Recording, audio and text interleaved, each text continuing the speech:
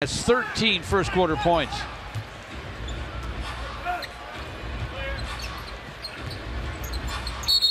Christian Wood guarded by Little.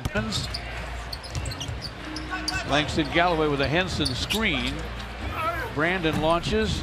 Going to be short. Gabriel with a rebound to C.J. McCollum. A minute left in the first. McCollum rises and guns and it goes. Brown crosses over. Hanging Glasser from the baseline. No. Rebound comes right back to him. He'll reverse and miss it.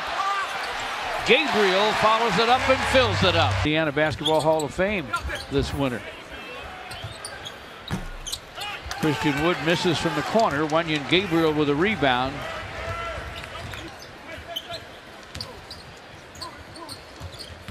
Simons with penetration dumps it to Wenyen Gabriel can't score it.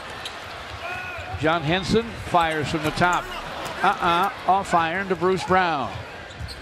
8 and 50 to play in the half. Bruce inside for Christian Wood, a double clutch jam. That right there.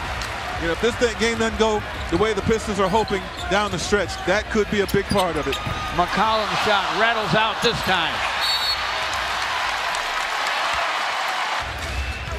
Christian Wood, pass for Langston Galloway, nearly got away.